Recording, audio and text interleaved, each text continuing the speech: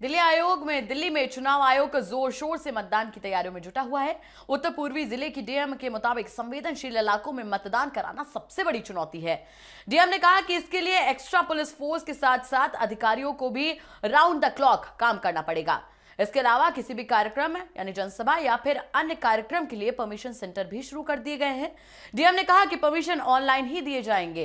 पूरे मामले पर उत्तर पूर्वी ज़िले के डीएम शशि कौशल से बात की। ज़िले, हमारे संवाददाता विश्वजीत झा ने। दिल्ली में विधानसभा चुनाव का बिगुल बच चुका है। राजनीतिक पार्टियाँ अपनी अपनी तैयारियों में जुटी हैं। साथ साथ चुनाव आयोग भी अपनी तैयारी में जुटा है। हमारे साथ उत्तर पूर्वी ज़िले की डीएम हैं जिन्होंने, जिनके पास पाँच विधानसभा क्षेत्रों की ज़िम्मेदारी है। तैयारी उनकी भी लगभग करीब करीब पूरी होगी, जो अब तक होनी चाहिए थी। शशि कौशल जी। मैम कहाँ तक पहुँची आपकी तैयारी और क्या तैयार हैं आप लोग? जी हम लोग पूरी तरीके से तैयार हैं और हमने जैसे ही अनाउंस हुआ है इलेक्शन उसी टाइम से अपनी परमिशन सेल यहाँ पर स्टार्ट कर दी है और हमारा कंट्रोल रूम रेडी है। परमिशन सेल में मैं ये बताना चाहूँगी कि पूरे ही लाइन डिपार्टमेंट जिसमें M C D D D A Jal board और पी डब्ल्यू डी और जितने भी डिपार्टमेंट दूसरे हैं वो सभी लोग बैठते हैं उनके ऑफिसर्स बैठते हैं लेकिन परमिशन जो है वो पुलिस देती है। तो वो सब तरीके से चेक करते हैं वो ऑनलाइन परमिशन दिया जाएगा। चाहे वो ऑफलाइन भी अटेंड अप्लाई करता है और उसको हम 48 आवर्स पहले लेते हैं, उसके बाद उसकी परमिशन दी जाती है। वन बाय वन किस तरीके से करी जाती है, वो हमने मीडिया में भी ब्रीफ किया है। अदरवाइज़ हमने इन सभी लाइन डिपार्टमेंट की मीटिंग ली है और इन सभी को बुला के इनको बताया है कि इनकी क्या जिम्मेदारियाँ हैं और अपनी परमिशन सेल हमने यहाँ पर स्टार्ट कर दी है। इसके साथ ही साथ हमारा कंट्रोल रूम जो कि, जिसमें कि डेडिकेटेड लाइंस दी गई हैं कंप्लेन की, उसको हमने रेडी कर रखा है। वहाँ पर भी ऑफिसर्स मौजूद हैं और वो कंप्लेन को रिसीव करेंगे और कंप्लेन जो भी कंप्लेन जिस भी एसी से पर्टेन करती होगी उसमें उसको भेजा जाएगा और उसका तुरंत निपटारा किया जाएगा। साथ ही साथ जिस तरीके से हमारा इलेक्शन कमीशन काफ़ी एक्टिव है और उसकी जो गाइडलाइन रहती हैं जो डायरेक्शन आती हैं सी विजिल उसके हिसाब से सी विजिल में भी अगर हमारी कंप्लेन आती हैं तो उसको भी हमारी टीम्स रेडी हैं और उसको भी हम तुरंत उसका निपटारा करेंगे।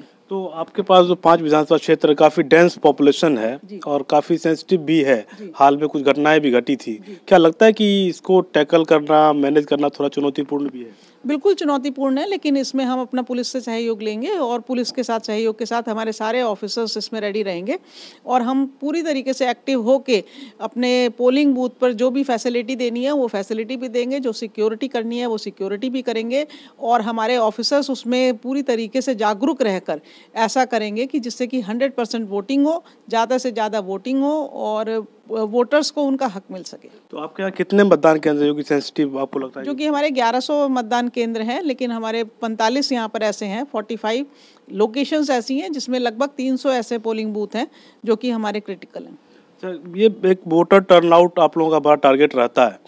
उसके लिए क्या कुछ खास कर रहे हैं यहाँ पर अभी आप लोग? वो हम स्वीप एक्टिविटी करते हैं। हम लोग स्टैटिक लोकेशन और अपना मोबाइल लोकेशन पे अपना ईवीएम्स लेके जाते हैं हमारे ऑफिसर्स और उसका हैंड्स ऑन करवाते हैं लोगों को दिखाते हैं मिलाते हैं बताते हैं कि आप किस तरीके से इस पर वोट डालेंगे किस तरीके से आप वीवीपैट का इस्तेमाल करेंगे और कितना जेनविन ये रहेगा। साथ ही साथ हम वोट ज़्यादा से ज़्यादा पब्लिसिटी हो और इसके लिए हर आदमी अपने घर से निकले और वोट डाले, इसके बारे में भी वोटर्स को जागरूक करते हैं। एक आखिरी सवाल ये पूछ रहा हूँ कि क्या सबसे बड़ी चुनौती लग रही है आपको? क्योंकि हाल में जो घटनाएँ घटी थी, उसके बाद लग रहा है कि दिल्ली में फ्री एंड फेयर इलेक्शन कराना बिल्कुल आसान टाइप तो कम से कम दिख नहीं रहा। नहीं इलेक्शन कभी भी आसान नहीं होता। इलेक्शन के लिए पूरी तरीके से आपको मुस्तैदी दिखानी पड़ती है। आपको पुलिस से कॉपरेशन लेना पड़ता है और पुलिस अपनी ड्यूटी करती है सिक्योरिटी देती है और हमारे ऑफिसर्स राउंड द क्लॉक काम करके इस इलेक्शन को पूरा करते हैं। मतलब आप लोग, आपके लिए सबसे बड़ा चैलेंज क्या दिख रहा है? मतलब जिसको कि आपको लग रहा है कि टैकल करने में सबसे ज़्यादा एनर्जी लगानी पड़ेगी। वन बाय वन और जैसे जैसे हर दिन का अलग चैलेंज होता है, जो भी काम दिया जाता है, उसको पूरी तरीके से कंप्लीट करके हमें देना पड़ता है, वही हमारा चैलेंज होता है।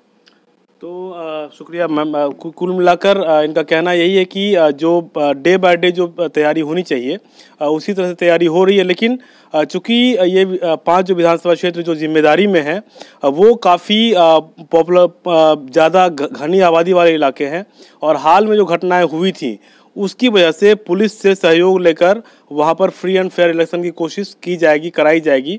आ, इसके अलावा जो वोटर्स टर्नआउट को बढ़ाने के को लेकर भी आ, जो प्रयास किए जाने हैं वो भी अब धीरे धीरे ज़ोर पकड़ेगा ताकि लोग ज़्यादा से ज़्यादा वोट के लिए बाहर भी निकलें। उत्तर पूर्वी दिल्ली से कैमरा पर्सन मनोज कोहली के साथ मैं विश्वजीत झा टोटल न्यूज़ के लिए।